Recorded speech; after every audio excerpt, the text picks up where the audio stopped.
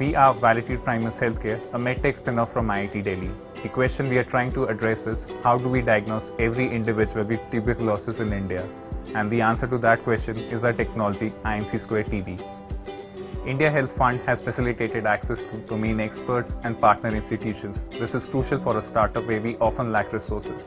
India Health Fund has connected us to leading TB research institutions across the country, which will help us not only in scaling our technology but also offering a much better solution than what we have already developed. A problem startups often face in India is how do we scale our proof of concept beyond the laboratory. This is where India Health Fund has helped to bridge this gap. India Health Fund has connected us to a network of healthcare practitioners, domain experts, and hospitals across the country. As a startup, we are often lacking in resources and access to individuals who hold significant influence over the healthcare ecosystem. India Health Fund has offered us access to these resources, and we are confident with support from India Health Fund, we'll be able to address the problem of TB diagnosis in India.